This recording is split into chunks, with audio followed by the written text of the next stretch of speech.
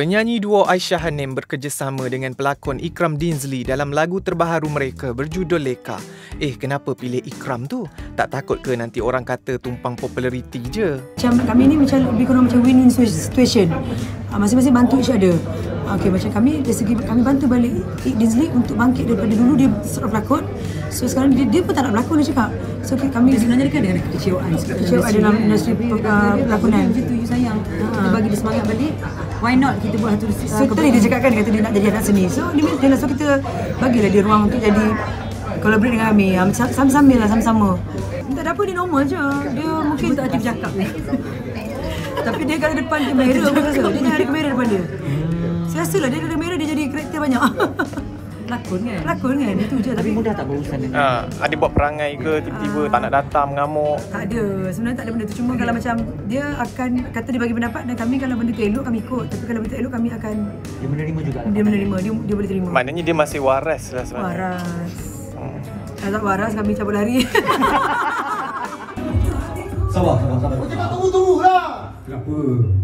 Awak je dah terlambat. Ah, itu je lah. Kami tunggu lama. Kalau dah terlambat, jaga rumah perangai. Masalahnya video klip tak siap lagi. Tak tentu siap. Apa yang tak siap?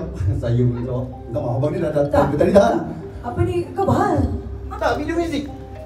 Ini nak cakap dah benda tak siap lagi. Ada sikit lagi nak habis kan? Takkan tak bersabar sikit? Eh, wartawan Tak Umar. masalah kan? Wartawan Umar. Kita tunggu Wartawan lagi Umar. lama. Wartawan Umar. Sorry bang. Wartawan Umar.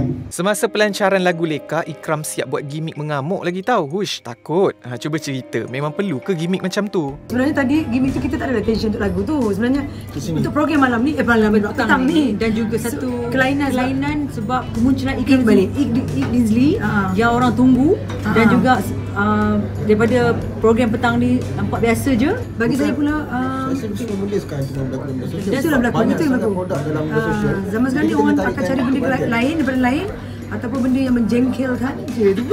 Benda sekarang saya rasa orang orang Malaysia suka benda-benda macam Netizen, maksudnya, netizen, maksudnya hiburan yang agak mencabang agak juga. lain lain dia tak biasa. Dia dia jangan biasa tu orang tak tengok. Dia kena luar biasa betul tak kena terhanyut. Terleka leka tetap ku masih leka. Walau dunia rebah oh Tuhan tunjukkan aku indahnya cahayamu